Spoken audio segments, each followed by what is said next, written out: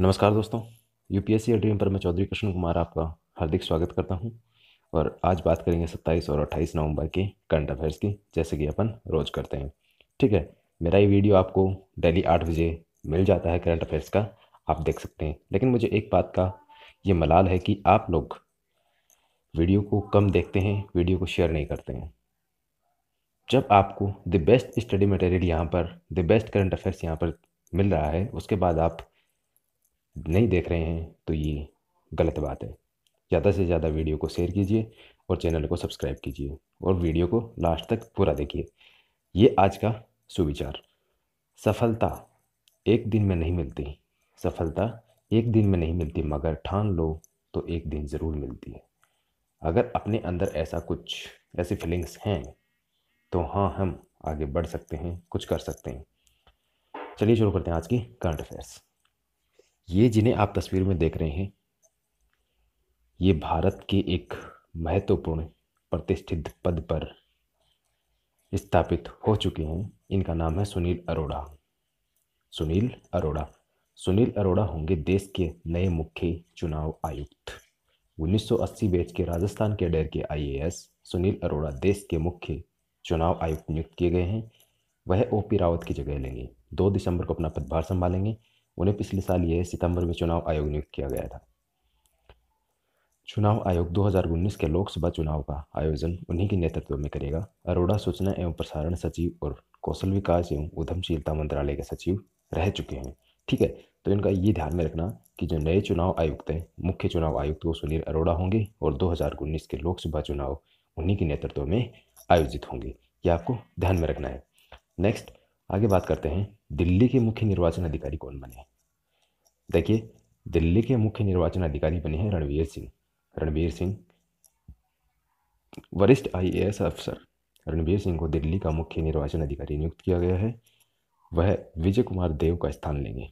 देखिए, पहले विजय कुमार देव थे, ये मुख्य निर्वाचन अधिकारी थे दिल्ली के, लेकिन इनको बाद में दिल्ली का मुख्य सचिव बनाया गया। मुख्य सचिव हैं वर्तमान में विजय कुमार देव, दिल्ली के।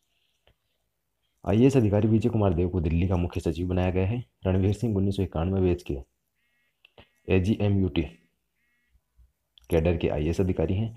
रणवीर सिंह कई अहम पदों पर काम कर चुके हैं। उनके पास लंबा प्रशासनिक अनुभव भी है। ठीक है तो यहाँ पर दो क्वेश्चन हैं। एक तो दिल्ली के मुख्य निर्वाचन अधिकारी रणवीर सिंह और एक दिल्ली के मुख्य सचिव विजय देव। नेक्स्ट आगे बात करें करतारपुर कॉरिडोर की, जिसके बारे में मैंने आपको बताया भी था और इसकी एक बात और बताना चाहूँगा। करतारपुर कॉरिडोर की आधारशिला किसने रखी? तो करतारपुर कॉरिडोर की स्थापना जो आधारशिला है, वो रखी एम वेंकैया नायडू ने 26 नवंबर को, ठीक है? और 28 नवंबर को पाकिस्तान की ओर से रखी जाएगी इमरान खान द्वारा। किस प्रकार के रॉकेट बनाने के लिए आईआईटी कानपुर डीआरडीओ का सहयोग करेगा? वह है एक 122 mm एक्सटेंडेड रेंज रॉकेट एक 122 mm एक्सटेंडेड रेंज रॉकेट और इसकी जो मारक क्षमता है वो सत्तर किलोमीटर होगी। सत्तर किलोमीटर। घराना आर्द्रभूमि किस राज्य में घराना आर्द्रभूमि किस राज्य में काफ़ी इंपॉर्टेंट है? ये जम्मू कश्मीर में है। जम्मू कश्मीर में। ये आपको याद रखना है। ठीक है? चलिए आगे बढ़ते हैं। पुरुष हॉकी वर्ल्ड कप 2018 ये कहाँ पर आयोजित होगा? इसका उद्घाटन हो चुका है और उद्घाटन में इसमें भाग लिया था माधुरी दीक्षित ने। यहाँ पर जो कार्यक्रम हुआ था, उसमें भाग लिया था माधुरी दीक्षित ने, ठीक है? और इसका आयोजन होगा कलिंग स्टेडियम, ओडिशा में। कलिंग स्टेडियम, ओडिशा। ये आपको ध्यान में रखना है, ओनली पुरुष हॉकी वर्ल्ड कप। राष्ट्रीय दुग्ध दिवस कब मनाया जाता है? राष्ट्रीय दुग्ध दिवस प्रतिवर्ष 26 नवंबर को मनाया जाता है। सैयद मोदी अंतर्राष्ट्रीय चैंपियनशिप 2018 किसने जीती? यानी भारत की ओर से स्वर्ण स्वर्ण पदक जीता है इसमें समीर वर्मा ने। नेक्स्ट, हाल ही में यूनिसेफ इंडिया का यूथ एडवोकेट किसे नियुक्त किया गया है? यूनिसेफ इंडिया का यूथ एडवोकेट किसे नियुक्त किया गया है? तो वो है नाहिद अफरीन। नाहिद अफरीन, कमेंट करके आप ये बताइए, यूनिसेफ का हेड ऑफ़िस कहाँ पर है? यूनिसेफ का हेड ऑफ़िस कहाँ पर है? विश्व सी ओ पी डी दिवस कब मनाया जाता है? तो ये मनाया जाता है इक्कीस नवंबर को। कमेंट करके ये बताइए, संविधान दिवस कब मनाया जाता है? किस भारतीय मुक्केबाज ने महिला विश्व बॉक्सिंग चैंपियनशिप 2018 में स्वर्ण पदक जीता? तो वो है मेरी कॉम एम सी मेरी कॉम कमेंट में ये बताइए मेरी कॉम किस राज्य से हैं? सयाजी रत्न पुरस्कार 2018 से किसे सम्मानित किया गया?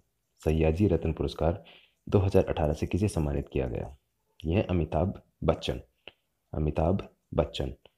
आप कमेंट करके ये बताइए, मधुशाला, जो रचना है, मधुशाला रचना, वो किसने लिखी? मधुशाला के रचनाकार कौन है? चलिए आगे बढ़ते हैं। Impact based forecasting approach impact based forecasting approach नामक तकनीक विकसित किया भारतीय मौसम मौसम विज्ञान विभाग ने। यह आपको ध्यान में रखना है, पूछ सकता है कि इम्पैक्ट बेस्ट फॉरकास्टिंग अप्रोच किसने लॉन्च किया? तो ये किया है भारतीय मौसम विज्ञान विभाग ने। आई एफ़ एफ़ आई 2018 में किस फ़िल्म मेकर को लाइफ टाइम अचीवमेंट अवार्ड प्रदान किया गया? तो वो है डेन वॉलमैन पर्वतीय औषधि पर बारहवीं विश्व कांग्रेस का आयोजन किस शहर में किया गया? तो वह है काठमांडू। काठमांडू आपके नेपाल में है। भारत में संविधान दिवस कब मनाया जाता है? तो भारत में संविधान दिवस मनाया जाता है छब्बीस नवंबर को। Syed Modi international badminton championship 2018 पुरुष एकल का खिताब किसने जीता? तो वो है समीर वर्मा, भारत की ओर से। इन्होंने स्वर्ण पदक जीता है। स्वर्ण पदक, ठीक है? ये आपको ध्यान में रखने हैं, काफ़ी इंपॉर्टेंट क्वेश्चन है, जो आज के करंट अफेयर्स हैं, वो बहुत ही महत्वपूर्ण हैं। तो आपने अच्छे से वीडियो इन्जॉय किया, शुरू से लास्ट तक, उसके लिए आपका धन्यवाद, और ये था अपना करंट अफेयर्स का आज का वीडियो ठीक है? और साथ ही साथ मैं आपको एक बात और बताना चाहता हूँ, आप वीडियो को ज़्यादा से ज़्यादा शेयर कीजिए प्लीज़ जो लोग मुझसे जुड़े हुए हैं, उनसे ये रिक्वेस्ट है कि वीडियो को ज़्यादा से ज़्यादा शेयर करें, ताकि बेनिफिट आपको भी हो और मुझे भी। थैंक यू सो मच धन्यवाद।